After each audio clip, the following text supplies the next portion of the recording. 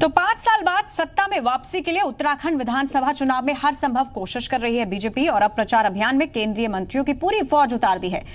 केंद्रीय परिवहन मंत्री नितिन गडकरी आज चमोली के गोपेश्वर में जनसभा को संबोधित करेंगे तो वहीं पौड़ी में खुद बीजेपी अध्यक्ष अमित शाह मोर्चा संभाल रहे हैं। अमित शाह पौड़ी में जनसभा को संबोधित करेंगे।